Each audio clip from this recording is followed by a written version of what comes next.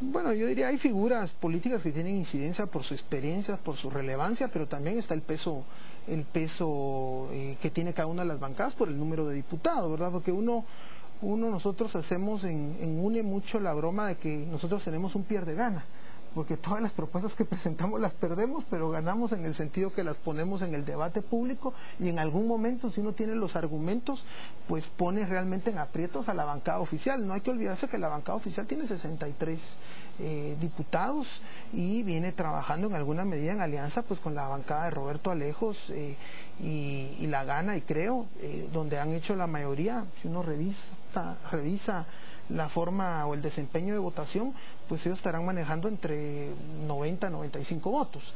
Entonces los votos están ahí. Si no hay acuerdo, en algún momento algunos diputados del Patriota tenían algunas enmiendas, especialmente con el tema de tráfico de influencias y responsabilidad de, de empresas jurídicas.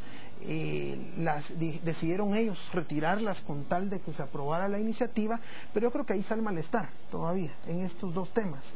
Entonces lo mejor es hablarlos abiertamente y en el tema de tráfico de influencias hay preocupaciones también de diputados distritales con el tema de la, capacidad de gestión del diputado. Eh, le dicen, mira, es que ya no vas a poder gestionar ni siquiera unos escritorios o láminas para tu comunidad o para tu municipio o para tu departamento porque va a ser considerado tráfico de influencias. Eso no es así, pues, pero los quieren asustar como para eh, evitar que se apruebe la ley aquellos pícaros que sí se dedican a los temas grandes, eh, que es el tema especialmente de buscar eh, contratos ¿verdad? En, la, en la ejecución de obra pública. Eh, nosotros nuestra propuesta es eh, aprobar la iniciativa, eh, ojalá sin modificaciones, pero si se presentan sobre la mesa las enmiendas y especialmente el tema de tráfico de influencias, pues también discutámoslo y busquemos la redacción. Ya hay una redacción que se había hablado de consenso que mencionaba acá nuestro amigo del movimiento cívico de, de la convención contra la corrupción de la cual es signataria Guatemala, que ahí hay una redacción, está la de la OEA, la de Naciones Unidas y la que tiene la iniciativa. Entonces, de esas tres formas que está redactado el tema de tráfico de influencias, pues busquemos la más adecuada que nos permita facilitar su aprobación. yo diría que ahorita es el momento sí de que se movilice y se pronuncie la sociedad civil. Hay momentos donde también se necesita la presión. Yo creo que ustedes como medios de comunicación con este programa el día de hoy están contribuyendo, poniendo su granito de arena para ejercer esa presión social, cívica, ciudadana. Y yo invito pues a demás organizaciones sociales a que, a que puedan presionar. el movimiento cívico ha tenido ahí sí que una creatividad importante, esto del colo, las playeras, no sé qué más se les pueda ocurrir eh, y, hay que buscarlo, hay que hacerlo y yo, yo animo a que hayan más instituciones que lo hagan, es el momento de hacer la presión política para que esto salga. De lo contrario, pues lo que, que puede... también por parte de los diputados escuchar esta presión de la sociedad. Sí, y hoy, como usted lo dice, ya se identifican figuras que tienen incidencia, pues que se comprometan públicamente. Ahora, Alejandro, en base al, eh, mapeo que ustedes han hecho y al seguimiento que le han hecho a este tema, ¿qué bancadas pudiese el Movimiento Cívico Nacional identificar que realmente se oponen a este tema? Pues es bien difícil decirlo abiertamente porque en palabras todos, todos están a favor. Eh, vemos una disposición sobre todo de, del partido oficial de meter otros temas a la mesa como decía el diputado, de no seguir discutiendo eh, y aprobando la ley en su momento y conociendo las mociones y las, las, perdón, las enmiendas en su momento y dejar pasar el tiempo y meter una agenda sobre la agenda. Por otro lado, el partido líder que dice que apoya las, la, la iniciativa, pero que también cada vez que toma la palabra agarra 20, 30 minutos por orador con listas de 15, 20 personas, eh, lo cual pues se sale ya de la lógica de un debate parlamentario eficiente. Eh, en base siempre a un derecho de los diputados de, ¿Y usted, ustedes han podido hablar con el jefe de bancada de, del PP, del líder? Porque son los dos bloques importantes con mayor número de diputados en el Congreso. O sea, ¿ustedes han podido hablar con ellos? ¿Qué les han dicho? Pues mire, se ha tratado de tener algunos acercamientos. Es difícil porque a veces cuesta tener eh, esos espacios. Eh, lo que hemos hecho es visitar el Congreso y en la medida en que podemos tener algún minuto con alguno de ellos en, alguna de las áreas públicas, pues se, se acerca uno. Por eso hemos eh, también a, la cuestión de las cartas por escrito, también para, para dejar una posición eh, y, que, y que podamos tener una posición de vuelta por escrito, ¿verdad? Porque sí es importante llegar a, la responsabilidad. ¿Quién es responsable de esto? Ahorita, eh, con las con los números como están sobre la mesa, nosotros ya tenemos cinco bloques con 25 diputados comprometidos. Por un lado, si el Partido Patriota realmente lo quiere pasar, con sus 63 diputados lo podría hacer, incluso que los demás bloques no se comprometieran. Si el Partido Patriota no lo quiere hacer y el partido líder y los demás están tan dispuestos como lo han hecho ver o como lo han dicho en algunas eh, pues, comunicaciones, igual forma podrían hacerlo aunque el Partido Patriota no quisiera. Esta es la ventaja de este momento en el que no hay una planadora, por lo menos de forma oficial, o que no hay una ningún bloque con, con la mayoría de los diputados, ¿verdad? Porque realmente con patriota o sin patriota, con líder o sin líder, esta, esta eh, eh, situación podría quedar atrás y la ley podría ser una realidad esta semana.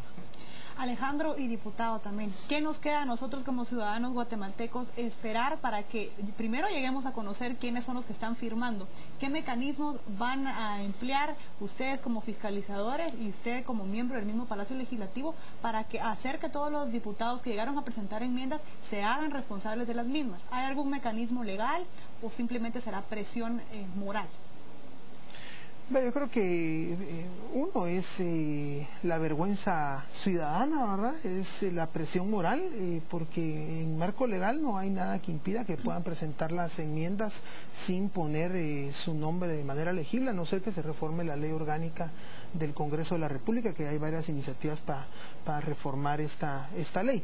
Pero yo creo que ese no es el tema. El tema acá es si el partido oficial no se siente cómodo con algunos artículos eh, de la ley anticorrupción, eh, tiene que manifestarlo de manera seria y argumentarlo y ponerlo sobre la mesa. Al fin es el partido gobierno.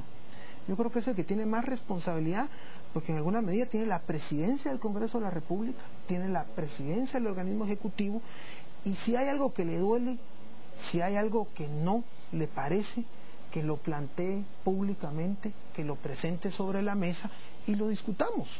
Eh, aquí, al fin y al cabo, si, si estás gobernando eh, el país y el organismo legislativo, pues tienes que asumir eh, los costos políticos correspondientes. Si no te parece algo, y además tiene la mayoría en el Congreso, preséntalo y asume el costo político.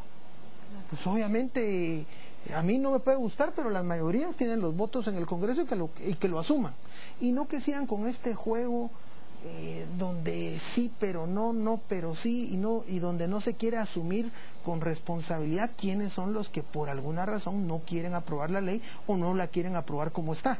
Entonces yo lo que animaría es, sean responsables, sean valientes, planteen sus enmiendas y votémoslas en el hemiciclo, votémoslas. Si al fin del cabo estábamos votando. Y si no están de acuerdo con una otra enmienda, pues se pierde la votación. Eh, nosotros estamos dispuestos a discutir las enmiendas y por eso fuimos a la, a la comisión que, que se conformó, que pensamos que tampoco se tuvo que haber conformado. Pero nadie se hace, ahora resulta que no hay enmiendas, que nadie se hace responsable, bueno, entonces que las desechen, que tomen la decisión y que las dos, tres que están, las la sigamos votando y que la ley continúe su aprobación. Y si sale otra enmienda, pues que sean responsables y que la asuman públicamente.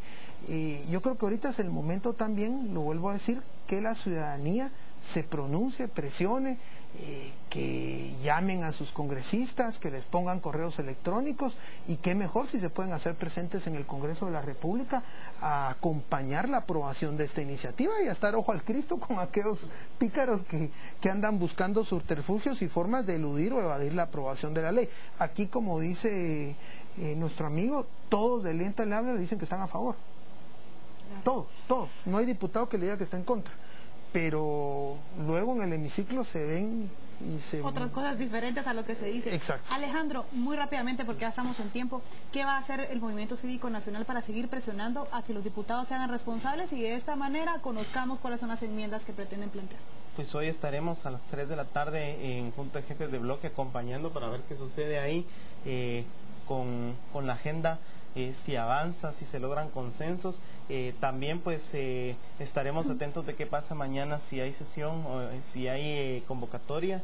Presionarán el- también a la Junta Directiva. Sí, así es. Y el día miércoles temprano a las 8 de la mañana se reunirá esta comisión de la que habla el diputado para conocer las enmiendas, para ver, para recibir aquellos diputados que sean responsables de las mismas o de alguna forma desechar aquellas que no tengan pues a nadie detrás que las que, que se responsabilice de ellas, porque también se abre la puerta a que cualquiera pueda eh, introducir una enmienda de una forma Claro. a hacer un... Sino que asuman como hicieron con secreto bancario. Ahí hay los, se sabe qué diputados presentaron la enmienda y votaron y la regresaron a comisión. Ahí sí digo, lo quiero señalar porque no muchos sectores sociales se pronunciaron. Otro tema delicado que va en contra de la transparencia, que va en contra del combate a una serie de, de- de ilícitos. Y ahí están los diputados, pues fueron valientes, Ahora, Carlos, la firmaron y la votaron. ¿va? Y sabemos quiénes votaron. Honestamente, Carlos, eh, eh, rápidamente, ¿va a pasar Estamos esto antes de aprobar el presupuesto 2013? Bueno, yo no veo forma que puedan eludirla y si no, pues que, pres- que, que levanten la sesión y que presenten una moción con nueva agenda, que es lo que, que tendrían que hacer, y que asuman la responsabilidad aquellos partidos, que lo asuman, como asumieron estos tres, cuatro diputados que sacaron la del secreto bancario y votaron ahí, se sabe quién votó a favor y quiénes votamos en contra que se sacara. Bueno, Muchas muchísimas gracias a ambos. por haber estado hoy con nosotros en la mesa de las 7 a.m. Vamos